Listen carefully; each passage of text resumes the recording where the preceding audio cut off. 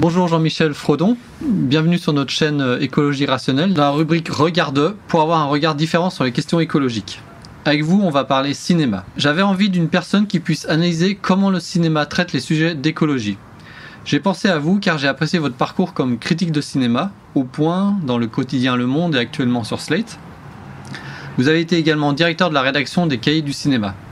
Vous avez une seconde casquette d'historien du cinéma avec la publication de nombreux ouvrages sur le cinéma, sur des sujets tels que la nouvelle vague et ses suites jusqu'à aujourd'hui, en France et dans le monde, la construction par les films des grands récits nationaux, l'influence de mai 1968 sur le cinéma, la Shoah et des travaux sur de nombreux réalisateurs.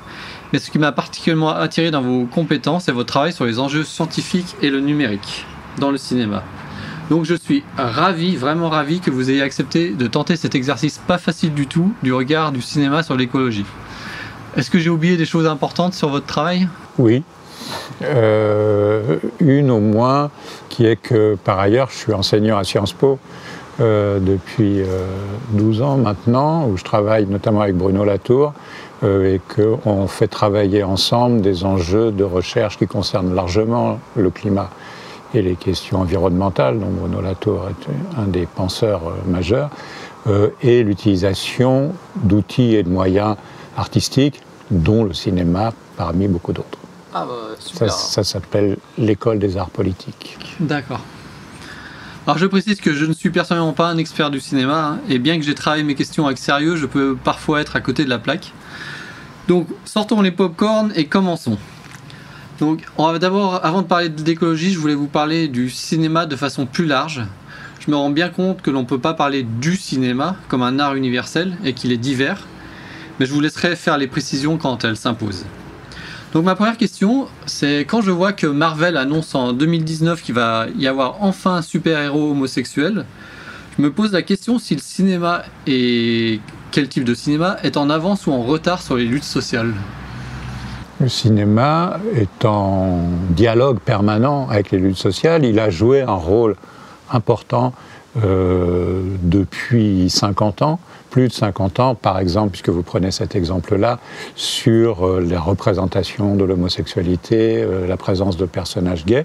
C'était pas dans les, films de super-héros, euh, c'était même pas nécessairement dans les blockbusters hollywoodiens, mais le cinéma a contribué à faire évoluer les regards, à faire évoluer les comportements, à donner des places importantes à des personnages gays euh, en particulier, pas seulement, euh, soit comme en en faisant le sujet des films, soit, et peut-être est-ce encore plus important, en n'en faisant pas le sujet des films, c'est-à-dire qu'il arrivait euh, des aventures policières ou des aventures sentimentales, ce qui arrive dans les films, à des personnages qui se trouvaient par ailleurs appartenir à une communauté ou une autre qui était jusqu'à présent ostracisée ou invisibilisée.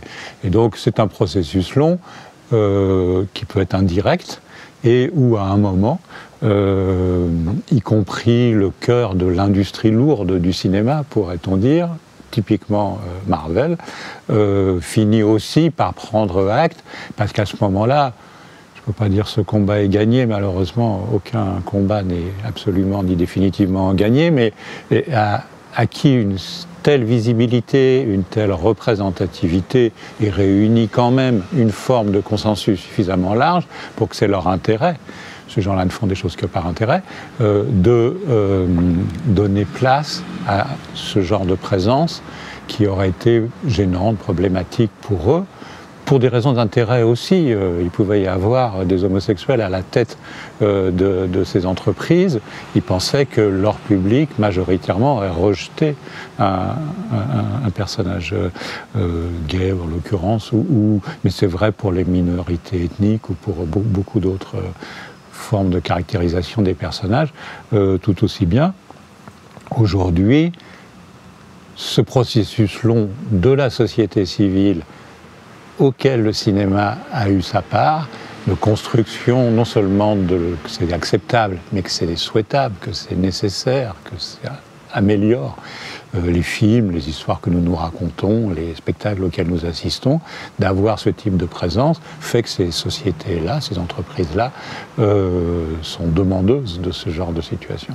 Est-il juste de dire que le cinéma est un outil de mobilisation de masse? Non. Euh, le mot mobilisation euh, ne me semble pas euh, celui qui convient. Le, cinéma est un outil, si c'est un outil, c'est pas vraiment le bon mot, mais disons est, un dispositif qui a des effets, mais pas sur le mode de la mobilisation. Si on entend mobilisation, car, par on sort de la salle et ah ouais, on y va, ça y est les gars, on est tous d'accord, on sait ce qu'il faut faire, avanti, avanti. Non, euh, ça n'arrive pour ainsi dire jamais. Euh, donc le cinéma n'est pas une sorte de, bouton sur lequel on a, enfin, ce qui ferait appuyer sur un bouton euh, pour nous faire partir aux côtés de quelque cause que ce soit, bénéfique ou négative. En revanche, le cinéma construit de manière euh, plus, beaucoup plus diffuse, souterraine, des modèles de comportement, des sensibilités à tout un tas de, phénomènes euh, qui font le monde dans lequel nous vivons. Et donc le cinéma a des effets, mais qui ne se définiraient pas par outil de mobilisation. D'accord.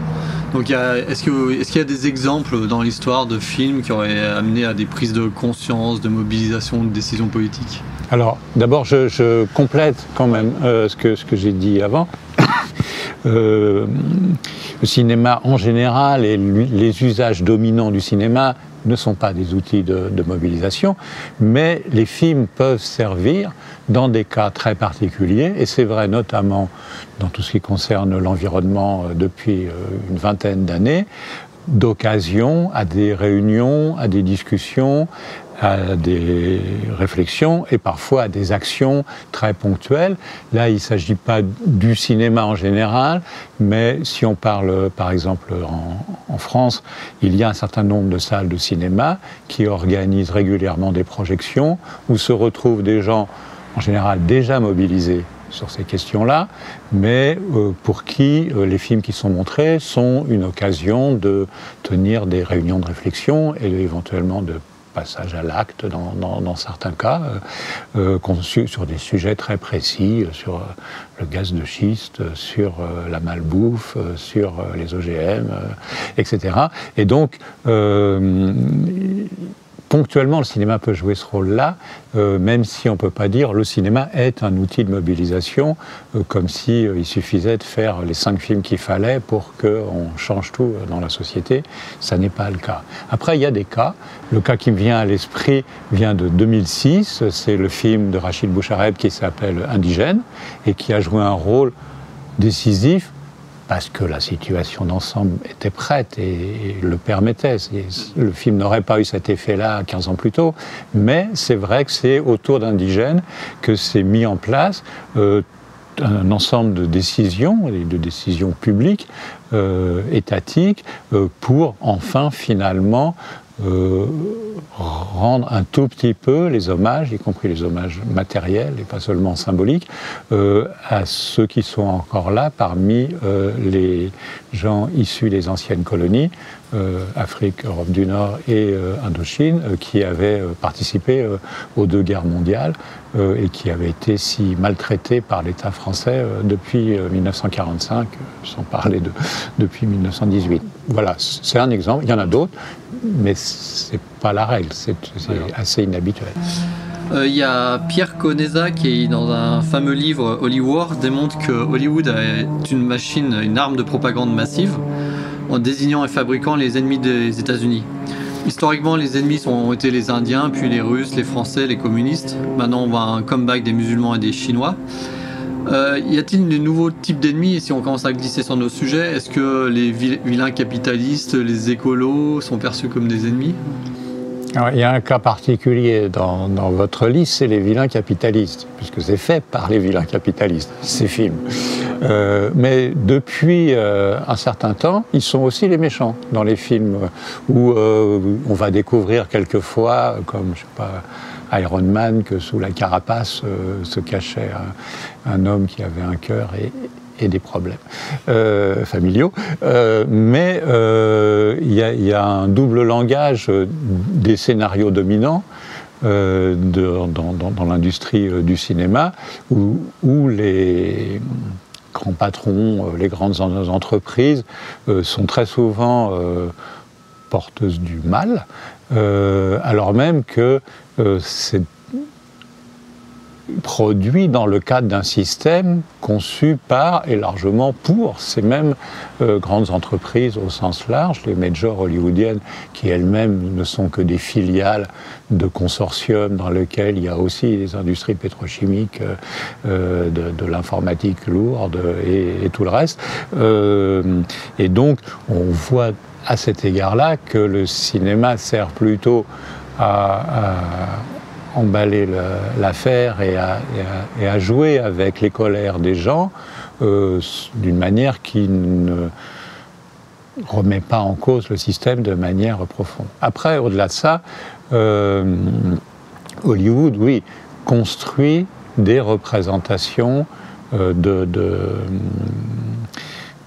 des ennemis, de structure la, la conflictualité euh, d'une manière qui euh, répond à des, à des, à des intérêts stratégiques euh, qui sont ceux des Américains.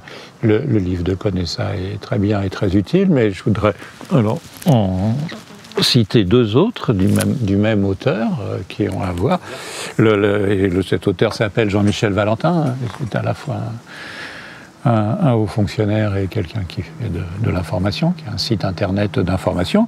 Le, premier, euh, Hollywood, le Pentagone et le Monde, montrait de manière beaucoup plus fine que ça comment le, le Pentagone, donc l'armée américaine, travaillait avec les scénaristes à l'écriture et que c'est beaucoup plus euh, construit, spécifique, localisé, euh, où ça va se passer, quelles armes on va utiliser, qu'est-ce qu'auront les méchants, euh, etc., que juste dire, bah, avant c'était les, rouges, les méchants, après c'est les arabes, etc. C'est ce qui est vrai. Ça n'invalide pas le premier diagnostic, mais là on a un décryptage beaucoup plus fin de comment ces gens-là, qui ne sont pas du tout des, idiots, structurent euh, la construction des, ennemis imaginaires qui aident à renvoyer à des ennemis réels ou à des gens qu'eux considèrent comme des ennemis réellement.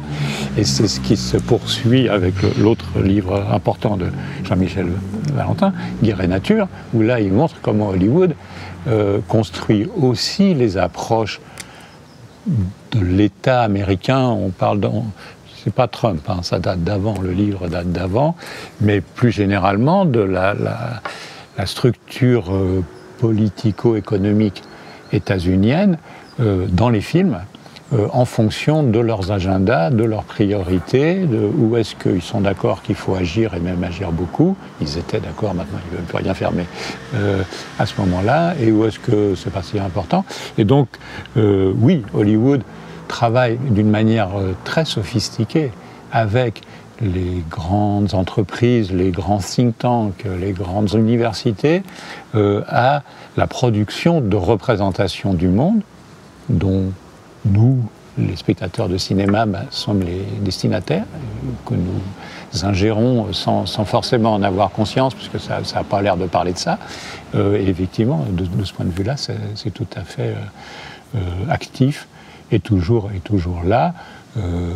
Hollywood est plutôt un, monde proche des démocrates, du monde, disons, libéral, y compris au sens américain du mot libéral, à l'intérieur duquel euh, il s'agit toujours de la mise en œuvre euh, d'un capitalisme extractif et prédateur, mais qui a besoin euh, d'un certain habillage dans l'environnement contemporain. Donc en fait, ce que vous venez de dire, ça explique un peu pourquoi, bien que Hollywood a réussi à, à fortifier et glorifier le mythe américain, que finalement aujourd'hui il échoue à faire prendre conscience de l'urgence climatique je pense que c'est compliqué pour eux aussi.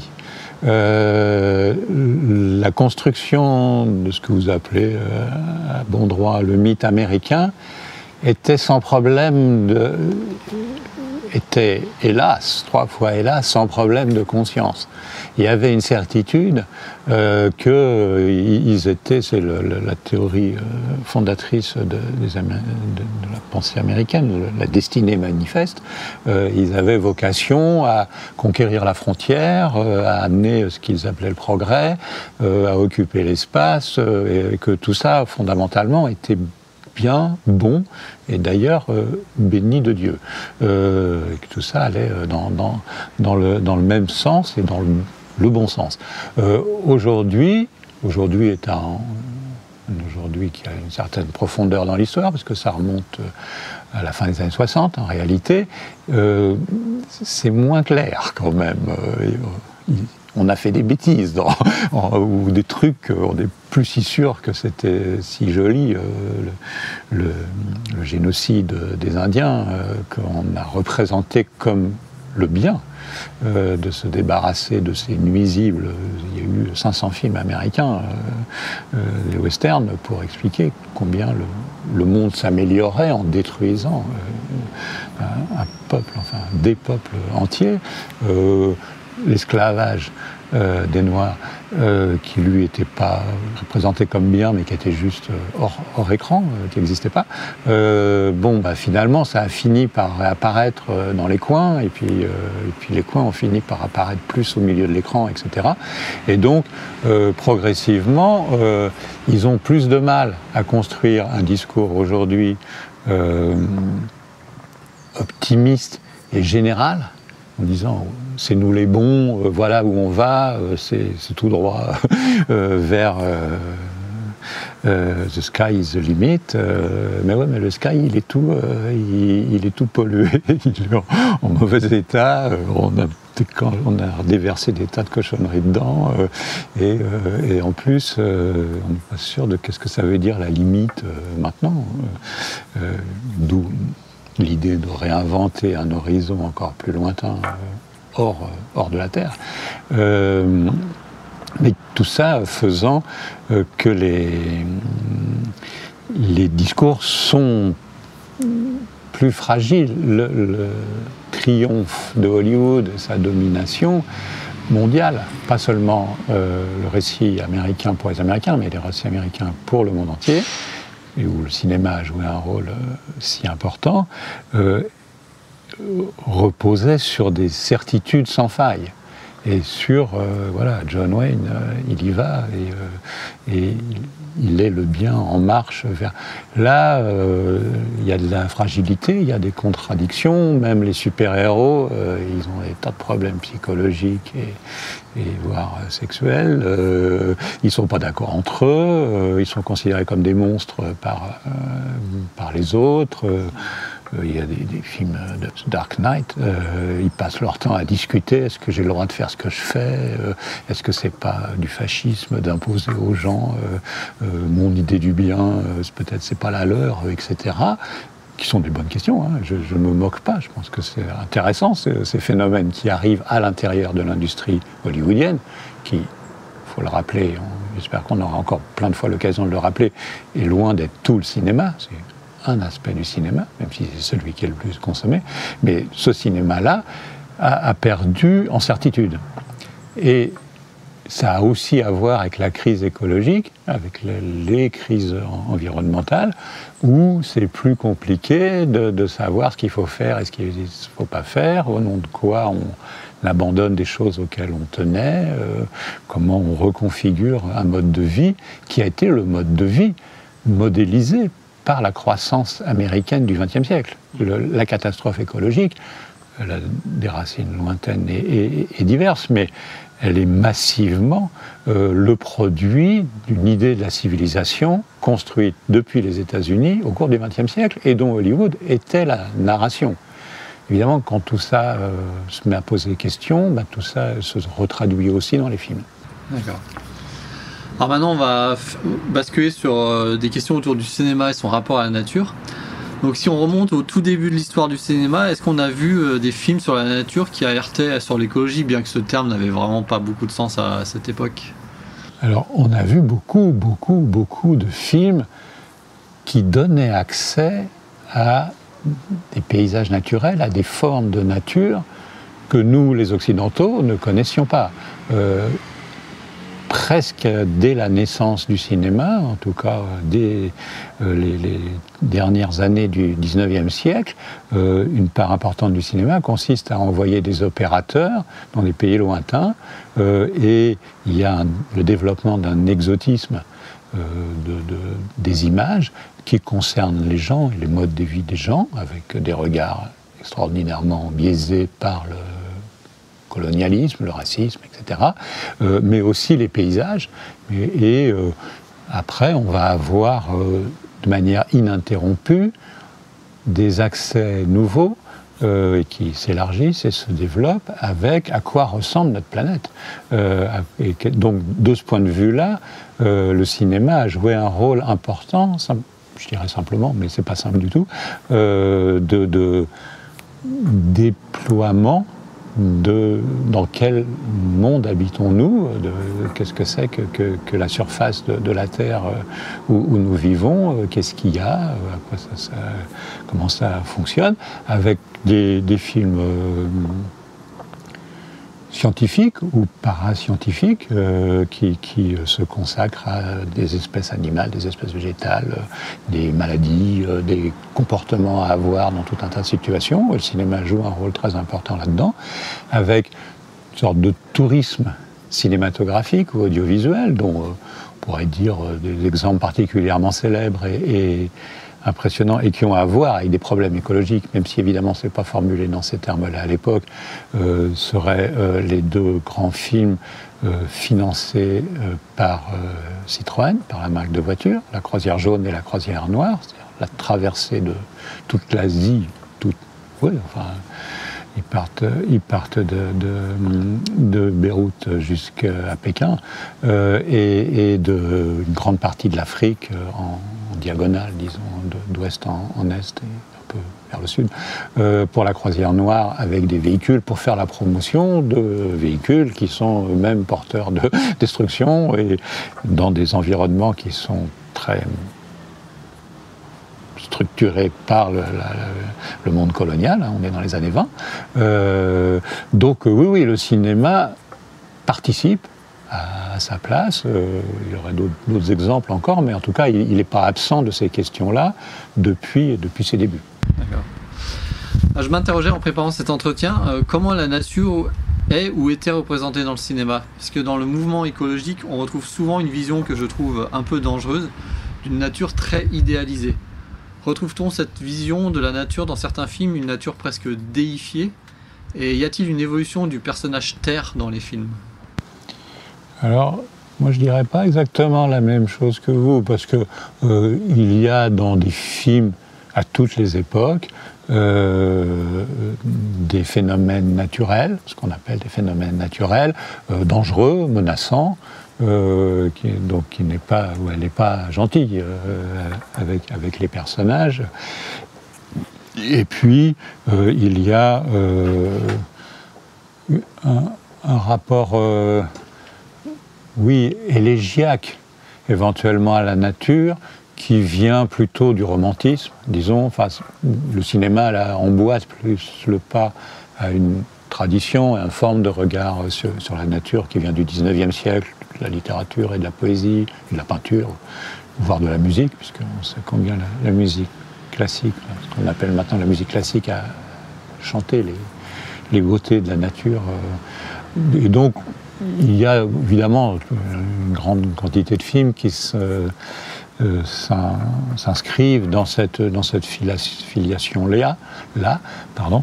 Euh, mais pour moi, la question intéressante, euh, de, enfin problématique et sensible de comment la nature existe dans les films, c'est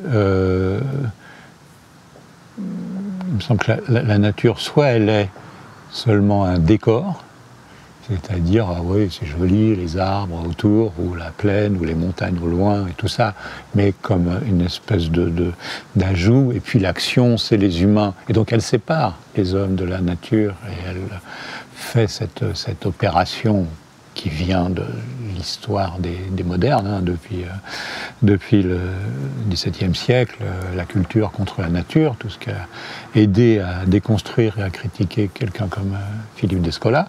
et, et elle fait perdre en chemin combien les hommes font partie de la nature, sont des animaux particuliers, nous avons certaines raisons de nous intéresser en particulier à ce qui leur arrive et à des individus au sein de l'espèce humaine, mais euh, en, ne nous aidant pas, dans l'immense majorité des films, à comprendre à quel point les actions humaines sont inscrites dans des processus naturels et en interaction euh, permanente euh, avec eux. Et l'autre dimension, encore plus grave, si on peut dire, mais moins fondamentale et plus facile à critiquer que le premier, la, première objection est, la plus fondamentale et la plus complexe à déconstruire. L'autre, c'est de considérer la nature comme un, espace à conquérir, à occuper et à exploiter. Et ça, alors on retourne aux Américains en particulier, aux westerns notamment, mais, mais euh, c'est aussi vrai par exemple euh, historiquement des films soviétiques. Euh, l'épopée, l'odyssée de la conquête des grands espaces par les forces que chacun de ces pays et de chacune de ces idéologies met en valeur est tout à fait symétrique euh, en termes de la nature. Et là, pour que l'homme s'en empare, l'exploite, euh, la, service, euh, la transforme selon ses, besoins, dans un rapport qui ne lui laisse plus d'autre rôle que celui de serviteur et d'objet au sens le plus utilitaire du terme, bah, on voit les conséquences de ce rapport au monde, qui a été le rapport au monde du capitalisme depuis, ses débuts, euh, aujourd'hui avec, les, les, crises environnementales dans lesquelles nous sommes. Le cinéma et son rapport aux ressources. Le premier film qui me vient sur la question de la prise de conscience des limites de la croissance de la population et des problèmes que ça soulève est un film qui m'avait marqué dans ma jeunesse qui est Soleil Vert. Alors peut-être vous allez dire qu'il y en avait sûrement d'autres avant, mais la question que je me pose, comment ce film a pu émerger à une époque où la crise écologique n'était pas encore vraiment connue? Que raconte-t-il de cette époque? Alors Soleil vert est un film euh, pionnier, vous avez tout à fait raison. Euh, qui est sûrement celui qui est le plus littéralement ou explicitement en phase avec des problématiques qui nous sont devenues maintenant si, si communes. Euh, cela dit, il s'inscrit euh, dans un, environnement qui n'était pas si absolument euh, ignorant de ces, de ces questions-là à cette période et, même un peu auparavant. Si, si on repense depuis aujourd'hui. Ça n'a pas été le cas à l'époque. Un film comme Les Oiseaux d'Alfred Hitchcock, hein, 1958 euh, si je ne me trompe pas, c'est un film où les êtres de nature, non humains, se mettent à avoir une agentivité, des modes d'action, de décision que nous ne comprenons pas, que nous n'expliquons pas, mais qui interfèrent et qui perturbent et qui détruisent l'organisation de notre vie, ce petit village californien, une sorte de modèle euh, social, enfin de métonymie, au moins des États-Unis, sinon de l'Occident euh, euh, tout entier, aussi bien que le rapport entre un couple, une histoire d'amour et tout ça, donc qui, qui attaque en piqué, littéralement, nos vies, nos vies telles qu'elles sont organisées par les schémas que nous connaissons et que nous reconnaissons, le schéma social et le schéma intime, individuel, psychologique, sentimental, etc., euh, c'est assez euh, costaud euh, quand on y pense. Il y, aurait d'autres exemples. Pour revenir à, Soleil Vert, je pense que Soleil Vert, qui est un film qui s'inscrit dans un environnement idéologique, euh, particulier, euh, une idéologie, disons, critique des développements de la société euh, sur le modèle américain, ces critiques qui émergent, qui se développent au cours des années 60 et du début des années 70, quand, quand Fleischer va faire ce film, est une des manières de critiquer, comme les films de science-fiction sont des films pour critiquer le présent, pour discuter du présent toujours. Et là, c'est une manière de pointer un certain nombre de, dérives euh, sur euh, les rapports entre générations, sur euh, les rapports de pouvoir, sur le rapport à la consommation. la critique de la société de consommation, elle bat son plein à ce moment-là. Et des, gens, y compris des grands penseurs américains, ont beaucoup travaillé et aidé à le penser à ce moment-là. Fleischer et ses scénaristes, ils trouvent une manière de les prendre en charge à travers cette fable qui effectivement euh, fait mieux écho à nos manières de, problématiser les choses de les raconter euh, aujourd'hui, euh, alors que l'époque, il est un peu singulier. Il y, a, un film pour moi très, très important de, toute fin des années 50 qui, est, qui reste un des grands films sur le rapport à la nature, le rapport des hommes à la nature, euh, qui s'appelle La forêt interdite euh, de Nicholas Ray, qui se passe dans les Everglades, dans le monde des chasseurs de, qui tuent la, faune sauvage principalement pour récupérer les plumes des oiseaux, pour décorer les. le, film se passe, lui, à la fin du 19e siècle, euh, à l'époque de. Dans la suite du, mouvement initié par Audubon de, de l'ornithologie aux États-Unis et de la description de la faune, etc. Et c'est un film qui déplace, y compris la bonne conscience de ceux qui aiment beaucoup les animaux et qui euh, euh, ne veulent pas entendre qu'il y a des gens qui vivent de la chasse et tout ça, qui, qui, qui problématise de manière ouverte, paradoxale, complexe, toujours extraordinairement dynamique. Enfin, pour dire que des questions comme ça, elles ont émergé de temps en temps. Quand vous dites euh, ça n'a pris vraiment de l'importance que récemment, c'est vrai. Je ne suis pas en train de, dire qu'on on a toujours parlé de ça. Non. Euh, mais il, y aurait des, exemples.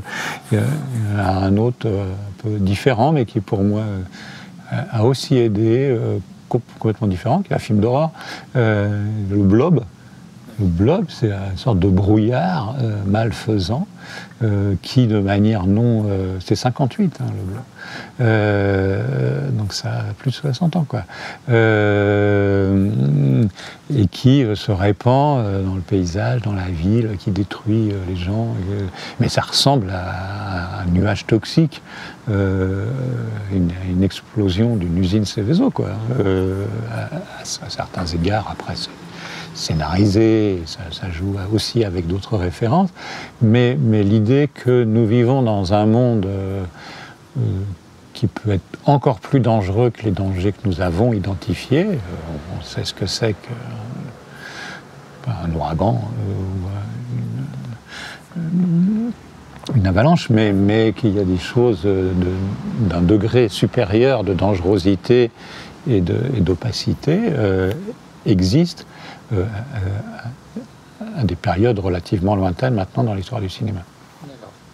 Alors si maintenant on monte de quelques décennies, on, a vu ensuite émerger des films tels Mad Max ou Waterworld dans les années 80-90. Cela raconte quoi sur ces années-là? Est-ce que c'était une, époque avec des craintes différentes? Ah oui, mais dans les années 80 et 90, euh,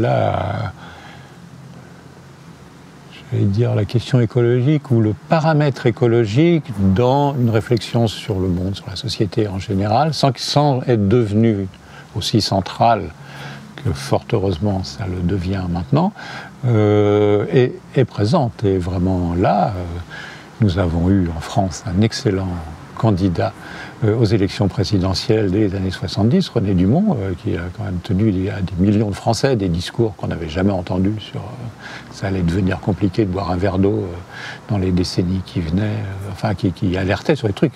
Il, avait l'air de tomber de la lune, alors qu'il disait que des choses évidentes et absolument prouvées scientifiquement dès, ce moment-là, dans le monde entier, mais ou dans le monde développé, euh, disons, euh, les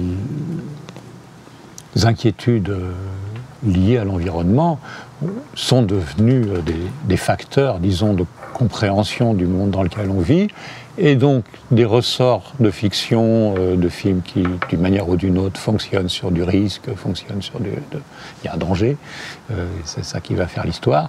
C'est logique que ça se retrouve, bah, par exemple, dans les deux films que vous venez de citer, je suis sûr qu'on pourra en trouver d'autres. Donc on va, parler autre chose que de Hollywood. Donc cinéma et l'écologie dans d'autres cultures, euh, voit-on des différences de traitement des thèmes écologiques entre le cinéma euh, donc hollywoodien, le cinéma US indépendant, Bollywood ou le cinéma français, voire asiatique? Alors, reparlons une minute de Hollywood avant, euh, parce que ça à voir avec votre question. Hollywood fonctionne sur un système qui est aussi celui de l'Anthropocène. Le système du blockbuster est un système producteur de, de, conformation idéologique, de comportement. Vous, avez parlé, euh, parce que ça vient comme ça, tout au début, euh, en présentant notre rencontre, de popcorn. Le popcorn, c'est un ennemi absolu de l'environnement, à tous égards. Euh, c'est malsain, c'est de la malbouffe, c'est produit dans des conditions dégueulasses, c'est une saloperie, et ça abîme aussi euh, la, capacité à regarder les films dans de bonnes conditions, la relation avec les autres spectateurs dans la salle, euh, etc. mais le popcorn fait partie de l'idée du cinéma dont Hollywood est porteur en allant un peu plus loin, je dirais Hollywood, c'est pas que le cinéma américain euh, des majors. C'est une idée du cinéma qui est une idée mondialisée. Même si le plus lourd, le plus fort, le plus actif est fait effectivement euh, plutôt en Californie, euh, il y a un modèle hollywoodien qui est plus, plus général et un peu tout le monde, dans tous les pays, il y a des gens qui essayent de faire du Hollywood offshore. et donc, la, la, le rapport au monde que construit le cinéma hollywoodien euh, est en lui-même toxique. Euh, et donc il est euh, paradoxal de compter sur Hollywood pour nous aider bien à entrer dans un rapport critique, dans un rapport, je dis même pas disruptif, mais qui, évolutif, qui, qui, déplace notre façon de considérer les autres, euh, ce qui nous environne, euh, que ça relève de ce qu'on appelle la nature, mais aussi bien la ville euh, ou, les, objets dont nous nous servons, qu'ils soient technologiques ou pas, etc. Puisque les schémas sur lesquels fonctionne Hollywood sont les schémas qui ont créé l'Anthropocène et qui, mènent à la, tragédie climatique et, environnementale dans, laquelle nous sommes en sachant que c'est ce qu'il y a de plus puissant. Et que nous, je m'inclus dedans, les, gens, les êtres humains adorent ça. Les êtres humains adorent Hollywood comme ils adorent le popcorn, comme ils adorent la climatisation, comme ils adorent le Nutella, euh, comme ils adorent euh, les SUV, euh, etc. Et donc, il faut, ça, veut dire que ça appelle à du travail sur soi contre Hollywood et contre notre amour il est un peu moins développé chez moi que chez beaucoup de gens, mais il n'est pas absent, euh, pour cette façon de raconter les histoires, de faire du spectacle, euh, sans quoi euh, c'est mort. Exactement comme on ne peut pas dire à la fois The American way of life is not negotiable et on va améliorer l'environnement. Non, si on ne touche pas à ce modèle de civilisation que les Américains ont largement promu dans le monde entier, euh, ben, c'est mort, effectivement. Ça va, ça, va, ça va brûler, ça va se détruire, ça va. Ça tue déjà, mais ça va massacrer des millions des millions de gens. Donc, cette question Hollywood et les autres n'est pas seulement, bon, parlons des petits maintenant qu'on a parlé du gros. C'était quoi ce gros dont nous parlons qui a cette puissance de frappe? Considérable, qu'on connaît, qu'il serait absurde d'ignorer, mais qui est porteur euh, dans son modèle, dans son ADN même, euh, des catastrophes euh, dont, nous parlons. Et donc par rapport à ça, les autres cinémas, vous aviez raison, j'ai tendance à dire que le cinéma est à la fois un au sens où il y a tout un ensemble qui mérite d'être appelé cinéma, dont Hollywood fait partie, euh, et une grande diversité de manières de faire du cinéma, eh bien oui, la réponse alors à votre question est oui.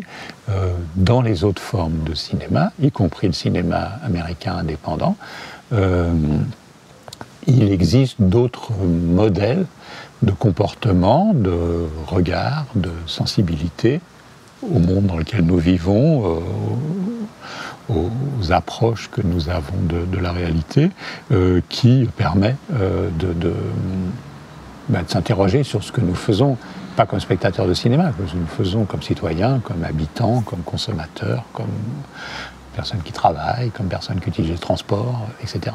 Et, donc, euh, oui, dans le cinéma, il y a bien d'autres ressources que ce que Hollywood modélise comme comportement.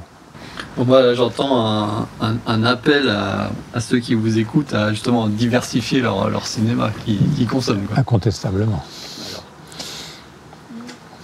Alors, je peux, je peux, je peux détailler un peu plus, si vous voulez, dans ces, dans ces, dans ces, dans, dans, ce modèle-là.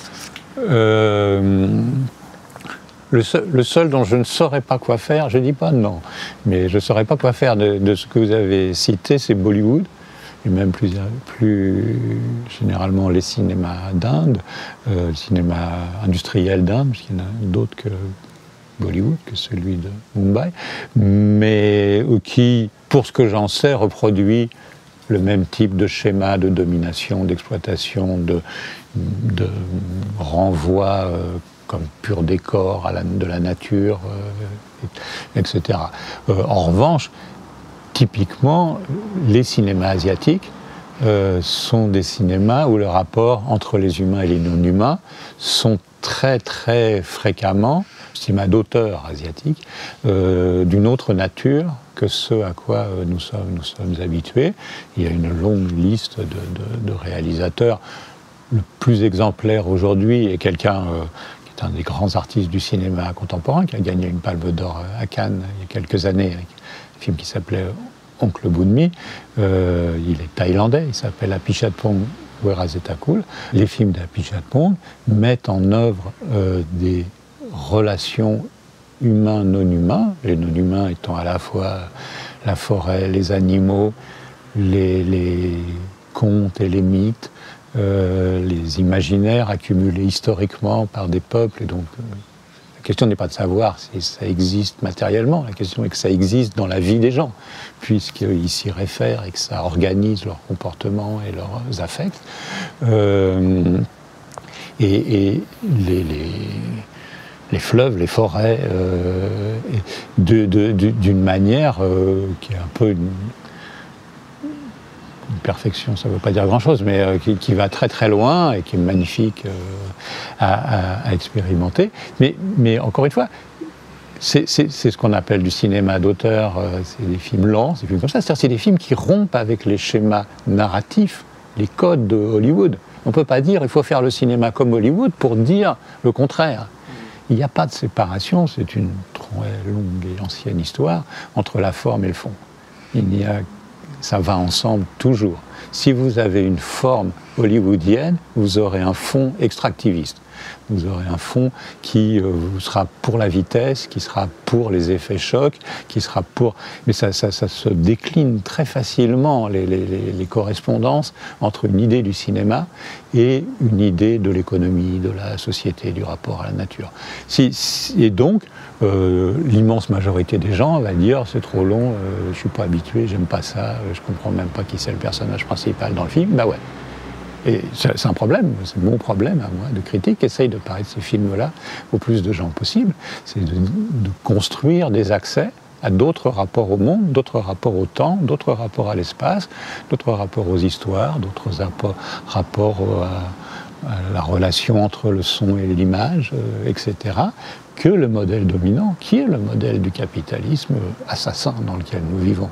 Donc euh, c'est sérieux, hein, on parle de cinéma de l'origine.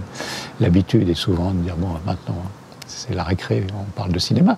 Euh, à mes yeux, il y a des liens. Alors, euh, bon, évidemment, quand on parle de choses comme ça, c'est plus direct, plus, plus, plus explicite, mais les formes cinématographiques engage les rapports au monde et transforme nos rapports au monde, influence nos rapports au monde. Euh, le cinéma asiatique, pas, pas, que le cinéma, enfin, une part du cinéma asiatique évidemment, mais on trouve une immense euh, éventail de propositions en Amérique latine, par exemple, euh, en ce moment, dans toute l'Amérique latine, euh, aussi bien en, Colombie, au Brésil, en Argentine, au Chili, même en, Amérique centrale également, de gens qui en s'appuyant sur des rapports à la terre qui viennent de, choses plus traditionnelles, plus anciennes que l'arrivée des Espagnols ou des Portugais, et, construisent d'autres manières de filmer, d'autres manières d'inscrire des personnages dans un, dans un, environnement, dans une histoire, dans un paysage, euh, etc., euh, qui sont là aussi du cinéma marginal, commercialement et donc aussi sociologiquement, mais qui sont euh, des, des, des, des ressources pour s'interroger soi-même sur mais c'est quoi mon problème à attendre? Euh, que les choses euh, adviennent. Euh, pourquoi ça doit péter toutes les 30 secondes, sinon c'est pas du cinéma comme, comme j'aime, sont, sont, sont, des bonnes questions à se poser. Il y en a dans le cinéma indépendant américain, comme vous l'avez dit. je pense par exemple à une réalisatrice remarquable, une jeune cinéaste américaine d'aujourd'hui, comme Kelly Reichardt, qui a fait euh, huit films, qui sont des films d'auteur, donc qui n'ont jamais eu les, honneurs de, des, multiplex, mais, mais, mais euh, il y a des westerns, il y a des films d'amour, euh, il y a des films policiers. on peut jouer avec les codes des genres cinématographiques, aucun, aucun problème, d'une manière différente. Une autre qui s'appelle alors elle, Chloé Zhao, qui est personnage euh, un peu mondialisé, puisqu'elle est née à Pékin, mais c'est une cinéaste américaine qui, qui, a été, enfin, qui a grandi et travaillé dans une tribu Sioux, euh, et qui vient de gagner le Lion d'Or euh, à Venise avec un très beau film qui s'appelle Nomadland, et qui doit réaliser un film de super-héros l'année prochaine. Donc il y a aussi des porosités, c'est ça qui est si intéressant avec le cinéma quelqu'un comme Chloé Zhao qui vient vraiment de, du cinéma d'auteur euh, hardcore avec un film semi-documentaire magnifique sur euh, les gens euh, parmi lesquels elle vivait. Les chansons que mes frères m'ont apprises se retrouvent au cœur de la grosse machine hollywoodienne. On va voir ce que ça va donner. Mais c'est intéressant de, voir à la fois les énormes puissances que ça implique, ces façons de raconter différentes et conflictuelles, et aussi les, zones de mobilité ou de, labilité euh, qui permettent bah, qu'il se passe quand même des choses et que nous ne soyons pas tous déjà morts. Maintenant, on va parler du cinéma et l'énergie. En, en, écologie, une des sources principales du problème est l'utilisation des hydrocarbures et la production d'énergie. Or, dans les films d'anticipation ou en science-fiction, l'énergie est souvent vue comme euh, infinie. Euh, le sujet semble assez absent. Euh, qu'est-ce que vous en pensez? Je suis entièrement d'accord avec vous. Je pense que c'est une remarque très juste. Euh, cette comparaison, par exemple, dans, la trilogie des Seigneurs des Anneaux, entre les méchants font fabriquent l'énergie avec des moyens à l'ancienne, mais que les gentils, c'est magique, qu'ils aient toujours l'énergie. Et c'est à peu près omniprésent. Je dirais parce que euh, on n'a pas la réponse. C'est-à-dire que pour que puisse advenir ce qui doit se passer dans, les films, nous ne savons pas quelle serait l'énergie propre euh, qui permet ça. Donc soit il faut dire, et, on revient à la question comment fonctionne Hollywood, il ne faut pas nous raconter ces histoires-là parce qu'elles comportent euh, l'utilisation démentielle d'énergie que nous n'avons pas, et alors, ben, faites pas le film. Si votre on, pourrait tenir un discours un peu extrême comme ça, tout film dans lequel des gens utilisent des quantités d'énergie déraisonnables est interdit. C'est impraticable, et d'ailleurs, je, suis contre l'interdiction des films d'une manière générale, mais, juste poser la question dans ces termes-là, et donc les, deux tiers du cinéma de science-fiction, euh, y compris les, épées laser, euh, euh, de, la guerre des étoiles. Ça sort tout la, lame laser, euh, c'est quoi qui produit cette énergie-là On ne sait pas. et donc la question des, ressources mobilisé fictionnellement et, un, dans une sorte d'indistinction hors champ dans les films. Euh, dans les films hollywoodiens, de nouveau, là on est revenu au blockbuster, euh, qui est un vrai problème, que je suis entièrement d'accord avec ce diagnostic. Alors maintenant, le cinéma et la surpopulation. Le, cinéma n'hésite pas à parler de ce que je qualifie moi du tabou des tabous dans l'écologie, qui est la démographie. Donc on l'a vu derrière moi avec Seven Sisters ou dans le dernier Marvel où Thanos éradique la moitié des êtres vivants pour cause de surpopulation. Est-ce que ce sujet est récent dans le cinéma? Oui, enfin il est récent et il y est très peu. Moi je, suis entièrement d'accord avec votre diagnostic vis-à-vis de l'écologie elle-même et de son refus de parler ou de sa tendance immédiatement à balayer euh, sous la moquette la problématique démographique euh, et ses, effets. Il y a une manière dont le cinéma s'en est un peu occupé, euh, de manière indirecte, mais qui est les films de zombies qui est une manière de donner une présence visible à du surnuméraire humain. C'est-à-dire que les zombies, c'est les humains de trop, quoi. Et qui, du coup, sont une menace pour les autres, nous, puisque nous, on est toujours supposé pas être les zombies, mais être les, autres. On ne sait pas pourquoi, puisqu'on aurait plus de chances, probablement, d'être zombies très vite dans la réalité, en, suivant le, processus même que, montre ce film. Et pour moi, de ce point de vue-là, il y a en particulier un, blockbuster euh, américain euh, qui, quand même, euh, aborde la question assez frontalement, qui est World War Z, où les masses démographiques, ce sont des démographies de zombies, mais elles sont visualisées, sont perçues, ces espèces de, gigantesques euh, fourmilières, euh, comme ça, qui, se répandent comme des, nuages toxiques sur, sur, les territoires, est une manière cinématographique, alors disons-le, c'est-à-dire euh, par de la métaphore, par des détours, pas en venant faire un, cours, de, démographie euh, à l'écran, mais néanmoins euh, de, convoquer cette, question-là. Pour moi, c'est un film important et assez, intéressant. alors on va aborder le dernier chapitre qui est plutôt le cinéma et le collapse, donc ce serait donc l'échec de l'écologie. Quelles sont les représentations les plus courantes de l'avenir dans le cinéma et y a-t-il une évolution? On a eu des représentations euh, qui, idéalisaient un futur euh, high-tech, on pourrait dire, hein, dont le modèle historique ancien serait Métropolis de Friesland, 1927, avec euh, cette ville de, grands immeubles futuristes, avec des autobus qui volent, avec une représentation d'une cité de l'avenir idéal, entre guillemets, puisqu'elle a été construite sur euh, la terreur, l'exploitation, euh, euh, mais, qui était qui ne se posait pas de problèmes environnementaux, en tout cas. On, a eu des, représentations catastrophistes de l'avenir nombreuses à partir de la Deuxième Guerre mondiale, et ça c'est un effet Hiroshima. Euh, c'est la montée de la menace atomique, enfin, Hiroshima et guerre froide, euh, la, puissance nucléaire euh, chez les Américains et chez les Soviétiques à l'époque, qui a modélisé l'idée que la, destruction de la planète était une hypothèse désormais recevable et, possible. Qui a, été un peu l'horizon sombre, hein, aussi bien de films grand public que de, de modèles plus, audacieux et complexes. Par exemple, je pense à La, Jetée de Chris Marker, euh, qui se passe après la Troisième Guerre mondiale, quand toute la surface de la Terre est devenue inhabitable et que les gens habitent plus que, que dans le, les sous-sols.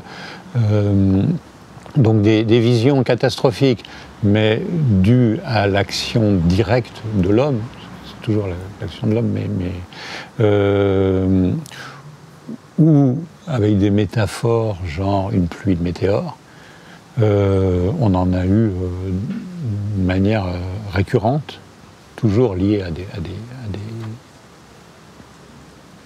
époques, à des moments particuliers. De, ce point de vue-là, on, continue à, avoir ces, images-là en tête, que la menace s'accomplisse. C'est exemplairement ce qui se passe dans un grand film important pour le sujet dont on parle, qui est Mélancolia, le film de Lars von Trier, c'est pas pas la faute des humains, c'est la planète qui vient s'écraser sur, sur, la Terre, mais comme la, matérialisation physique de tous les méfaits commis par les humains qui finissent par, par, devenir ce, monstre, y compris en, déjouant les prévisions des, scientifiques, qui fait partie de des façons dont le cinéma euh, envisage, alors la version euh, destructive, destructrice de, de l'avenir euh, de la planète, qui n'est pas toujours exactement de l'avenir de l'humanité, puisqu'il y a les hypothèses où l'humanité, elle, s'est carapatée entre-temps et est partie ailleurs. J'ai d'ailleurs l'impression que cette hypothèse-là est celle qui émerge le plus dernièrement. Avec des, des, films comme, euh, comme quoi, Interstellar, euh, Elysium, ou même euh, dans Walt Disney avec Wally. -E. Oui, elle, elle, elle existe. je, la, je, je, la, vois plus comme, comme des fantasmes colonisateurs, mais qui ne font pas disparaître la Terre. Euh, forcément. Y est, euh, nous avons conquis le système solaire, euh, pourquoi pas la Voie lactée pendant qu'on y est, et, et, donc, ou, je sais pas, mais la guerre des étoiles, les empires, ou le monde de Dune, etc. tout ça venant beaucoup de la littérature de science-fiction, hein, le, cinéma sur ces, sur ces terrains-là étant n'invente pas tellement. Ça, a été très exploré entre euh, Asimov, Arthur C. Clarke euh, et, euh, John Brunner, enfin Frank Herbert, il y a, du, monde qui s'est penché sur des hypothèses de reconstruction de cosmopolitique qui, qui sont celles qu'emprunte le cinéma.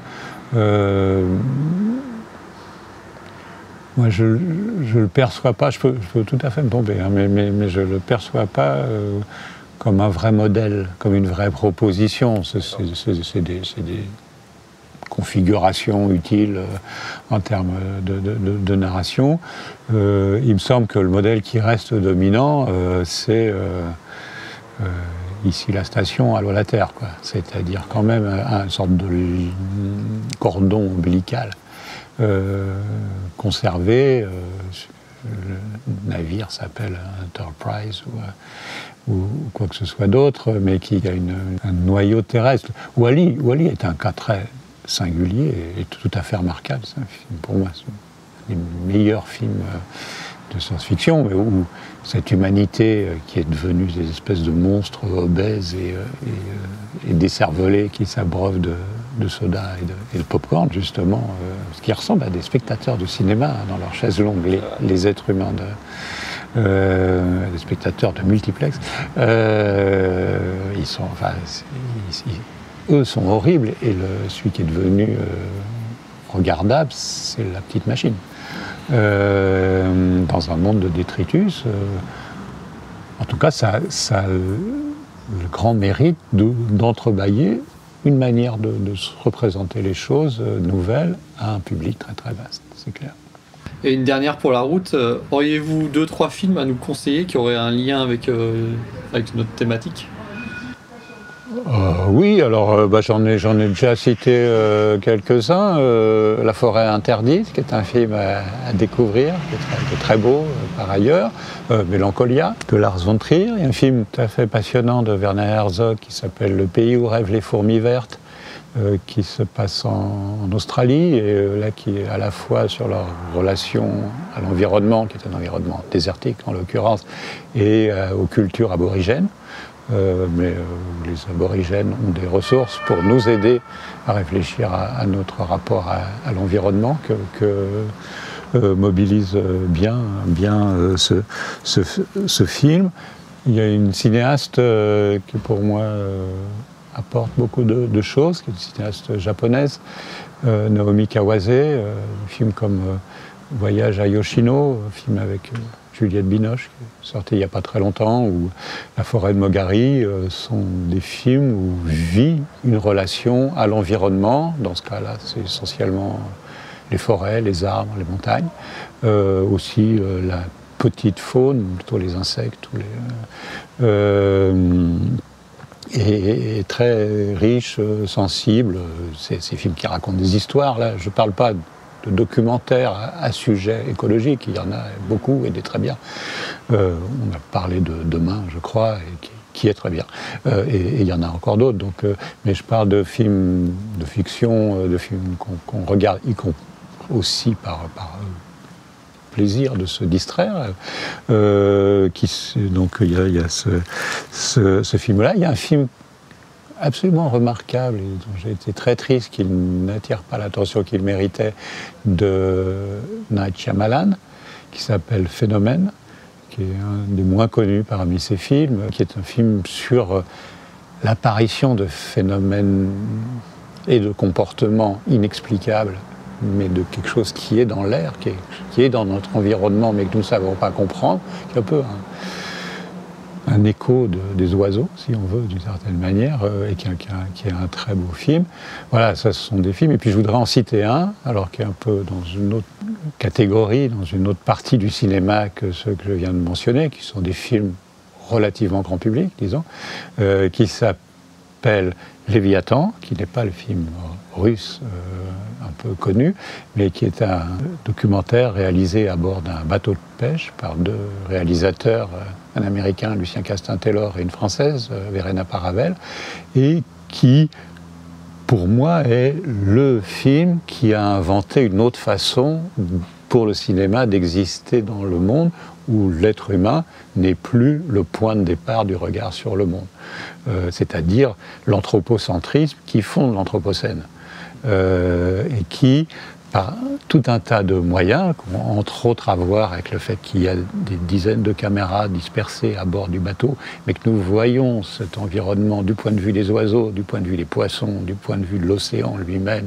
du point de vue de la machine bateau, euh, du point de vue du corps des pêcheurs autre que la manière. Et qui, alors là, euh, critique de l'intérieur, ce qui, dans le dispositif cinématographique lui-même, est héritier de, d'un point de vue centré euh, qui vient de la Renaissance, euh, mais qui est aussi celui des machines telles qu'on les a fabriquées au, XIXe siècle, là où on a inventé le cinéma, euh, monoculaire. Le, monoculaire, la singularité du point de vue et le fait que c'est un homme qui regarde le monde, qui le décrit et qui le montre aux autres, participe à notre rapport au monde qui entretient la crise environnementale. Ce film-là, qui est un film radical, euh, enfin, moi, je l'ai vu 12 fois avec un immense plaisir, donc c'est pas une épreuve forcément, mais, ça déplace considérablement nos habitudes de spectateurs, et c'est pas la peine de prétendre le contraire. Mais si on accepte ce déplacement-là, hein, on a affaire à d'autres potentialités du cinéma, c'est du cinéma, pour euh, nous raconter le monde dans lequel nous vivons et euh, y exister, c'est même pas forcément faire quelque chose, mais l'habiter. Bah écoutez, euh, un très grand merci. Moi j'ai trouvé ça passionnant. La morale de tout ce que vous avez dit, je trouve, c'est de dire si on s'intéresse à, l'écologie, il faut s'intéresser à d'autres cinémas. Et merci pour ça. Au revoir. Merci à vous.